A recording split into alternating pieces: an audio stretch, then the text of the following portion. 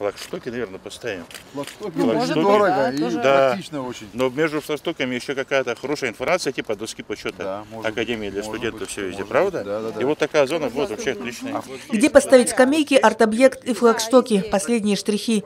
Жители Молочного, студенты и руководство Академии вместе с городскими властями вносят последние правки перед ремонтом. Территория возле учебного корпуса инженерного факультета ВГМХ стала одним из пяти пространств, которые благоустроят по проекту «Городская среда» в этом году.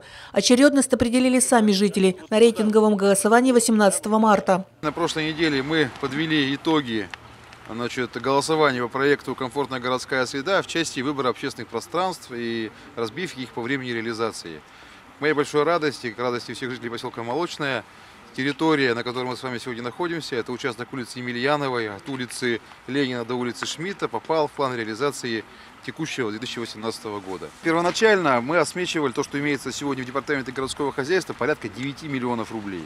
Значит, увеличения, конечно, быть не может. Может быть, будет экономия, но это не сама цель. Самое главное сделать это качественно и в надлежащие сроки. Сроки особенно важны. Молочная академия – крупнейший вуз области, и 1 сентября сюда приедут сотни студентов. Торжественная линейка должна пройти уже на обновленной территории.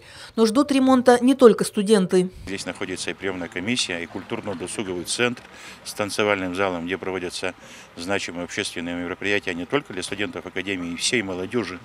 Это форумы по трудовому движению, форумы «Трип предприниматель», где собирается молодежь всей Вологодской области. Поэтому э, благоустройство этой территории весьма значимо. Долгожданной реконструкции ждут и жители Молочного. Улица Емельянова – одна из главных в селе. И, по словам его жителей, тротуары не ремонтировали ни разу. В соцсети увидела, очень обрадовалась. Очень тяжело бывает ходить по таким дорогам, и очень хочется, чтобы больше было зелени. До этого была не очень ровная дорога, было неудобно ходить, постоянно была грязь. И Сейчас, надеюсь, будет получше, будет чистая дорожка, чтобы вот удобно ходить студентам. Кроме этого, еще один участок в Молочном возле школы номер 6 тоже получил высокую позицию в рейтинге. Здесь ремонт запланирован на следующий год. Такие высокие баллы удалось получить благодаря активному участию жителей поселка, особенно студентов Академии. Мы распространяли информацию с помощью соцсетей, просили мам, пап, дедушек, даже тех, кто живет в Вологде, чтобы они голосовали именно за наши позиции. Могу сказать э, с уверенностью, что все те студенты, которые принимали участие ну, в голосовании здесь, проголосовали все 100%. Напомним, всего в план ремонта на 2018 год включены 5 общественных пространств, а всего до 2022 года в порядок приведут 30 территорий. Также этим летом техника приедет в 54 двора.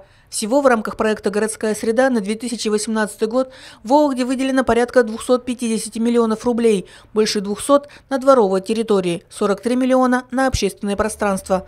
Татьяна Рыжкова, Михаил Прыщев, Вологда РФ.